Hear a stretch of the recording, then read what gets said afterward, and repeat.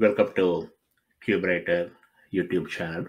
In this video, I'm going to talk about Docker Content Trust and uh, give you a demo how to sign the image using the Docker Content Trust utility. Trust is a major factor. Uh, the DevOps CI/CD introduces several tools into the pipeline. We download a lot of stuff from internet. We download libraries, uh, software binaries, third-party APIs, and we do a lot. We also pull containers for testing purposes and uh, deployment. Now the question is, when you pull the container, the question is, do I trust the source? How do you trust the source? Several of us are familiar with the uh, GitHub uh, signing process. We can use the GPG key to commit your code. You can use the passphrase to commit the code. So the GitHub repository knows that it is coming from the right source. Uh, Docker Content Trust have the similar thing. All it does provide a digital signature for the container. So when you transmit the container from your host to the registry or from the registry to your host, you know that it is not tampered. It is coming from the trusted source. That is the whole objective of Docker Content Trust. There are four steps uh, to enable Docker Content Trust for your environment. You have to generate the Docker Trust key, then add the signer to the Docker repository, sign the image. After doing all three steps, you have to enable the content trust flag at your Docker host. It is very important. Otherwise, you cannot pull the signed images from the repository. I'm going to show you the steps practically, you know, how that works. I also gave you the commands in the slide. It's, it shows how to generate key, how to adding the signer to the repository, how to sign the image. How to sign in the image, you have to verify the signature process went through. So there is a command docker trust inspect. You can use that uh, to check it. Then you have to enable the content trust on the Docker host to pull the signed images. Uh, I tested the commands few times. You can change the values according to your needs and you can try it out. It will just work fine. Uh, let's go to the demo now. I created a, a repository called demo content trust at the Docker Hub with, a, with an image, with a Tomcat image. It is an unsigned image. I will be going to use the image for the demo purpose, how to sign it and uh, how to pull it back with the right uh, content trust values. I documented all those comments here so I can reduce the length of the video. I'll be going to copy and paste these comments at my uh, VM so you can see you know how this how this will work. I type docker images and you know I have no image now. Let's start generating the key. Docker trust key generate Larry. You can give any name you want. I give the passphrase. This is it.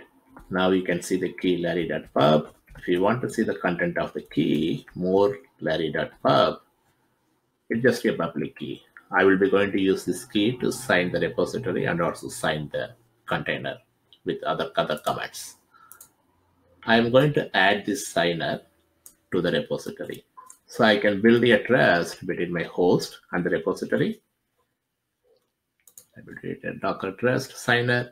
I'm adding the key to the repository that I was showing you before. This is it. Enter the passphrase. This it went through. Now I completed two steps. The third step, I am going to pull the image.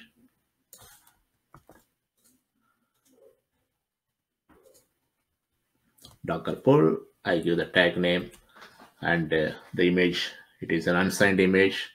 I have no trust now, so it can it can pull just like that.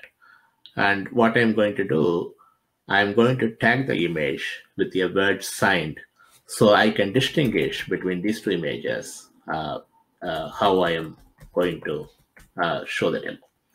Okay, so here's the Tomcat V1. I just pulled it. I'm going to tag the image with a word called signed so you can see the differentiation. Simple tag, use the docker image tag command with Tomcat V2 signed. That's it. When I type docker images.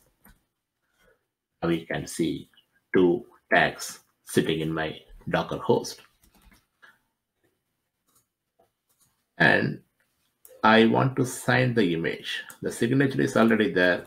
I'm going to use the docker trust sign command to sign the signed uh, tag. It. I have to enter the passphrase that I gave before. That's it. I send the Docker image. It is done. Now, I want to inspect the image. I want to make sure the signing process went through. Okay, it looks beautiful. Uh, I have the signer. The signer is Larry, and I signed this image.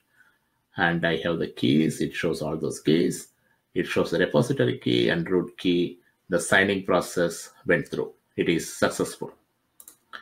Now, I'm going to push this signed image into the Docker repository because I want to enable the content trust at the Docker host, then I want to pull the signed and unsigned images to show the difference to you. Let me clear the screen. I'm going to push this image.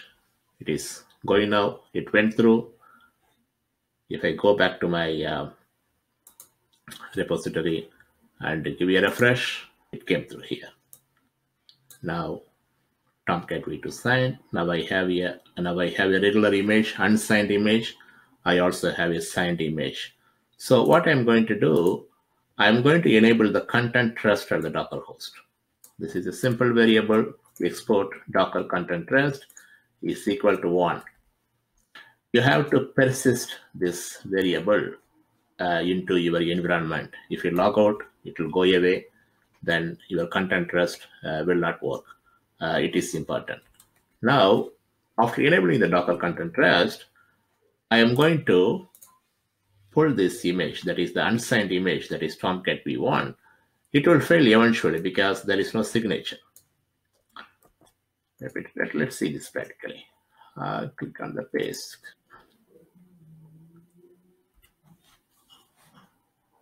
See, no valid trust data for Tomcat V1.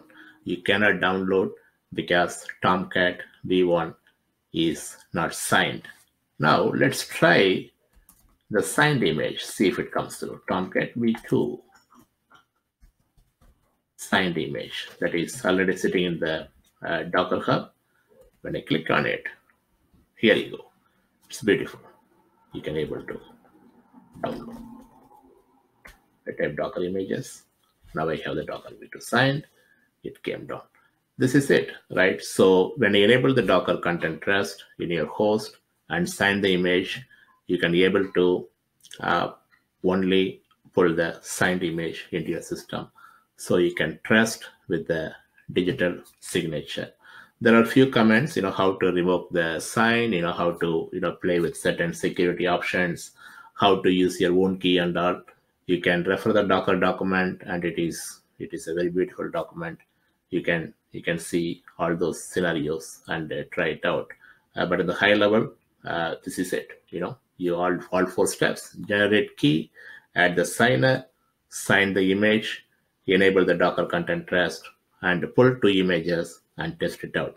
That's all about Docker content trust. Uh, thank you for watching.